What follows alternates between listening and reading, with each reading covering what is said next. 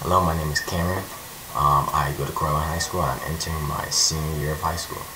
Um, it's my birthday, so that's why I couldn't make it, but I would still like to demonstrate my project. Um, this is this is my gesture control accelerometer. This robot basically reads the gestures of an accelerometer and uses Bluetooth to transmit the gesture code to the car. Uh, so let me just show you some of the parts. This is the my accelerometer, my ADXL uh, 3405. Um, this basically reads your um, direction, the pace um, depended on gravity and um, your tilt, your acceleration, just what way you're pointing it really determines, you know, how your car is going to work. Um, this is the HC05. This is the Bluetooth that allows um, this to communicate to this, even though they're not connected to each other.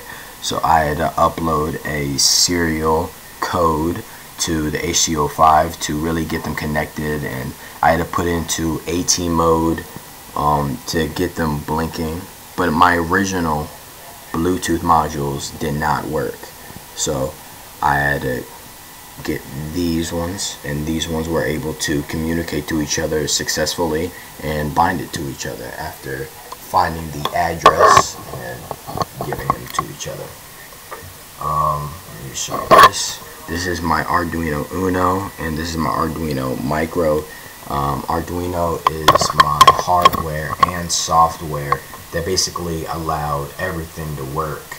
Um, it is the programming behind everything and um, depending on the code that you upload that is going to put that code um, into my accelerometer and my gesture control robot.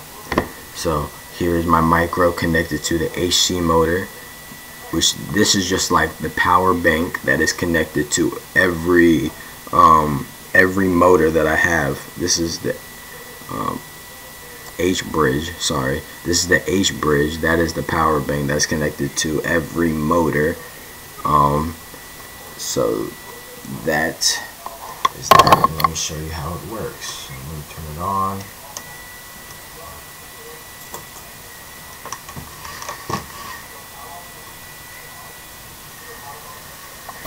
So depending on how I move it, it's going to go either forward or backwards.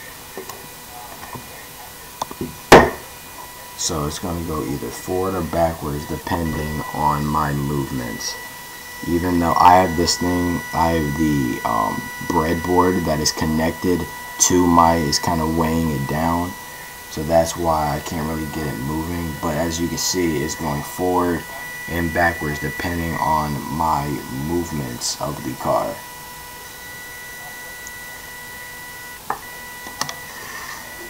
So that is basically my project.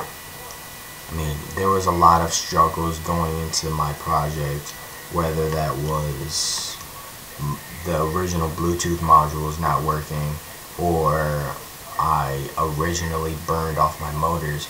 It took me a long time to learn the Arduino um, and its systems. Um, and I'm very new to coding. So that was one of the main struggles, but I was able to put in some work and uh, learn a little from my instructors.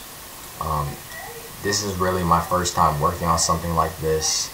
I love building, but I'm relatively new to the software side of engineering.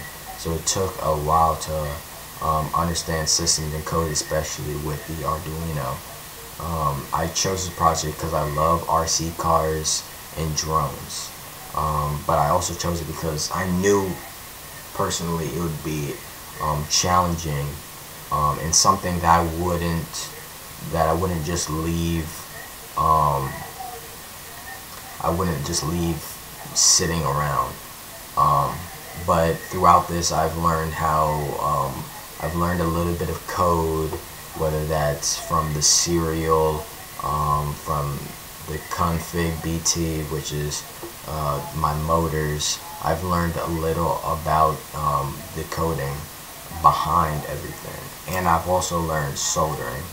Uh, soldering is using this soldering metal to connect, basically burns that uh, soldering metal into a liquid form in which you connect two pieces of metal to it in which it solidifies and it's still able to conduct electricity um, through those two pieces of wire.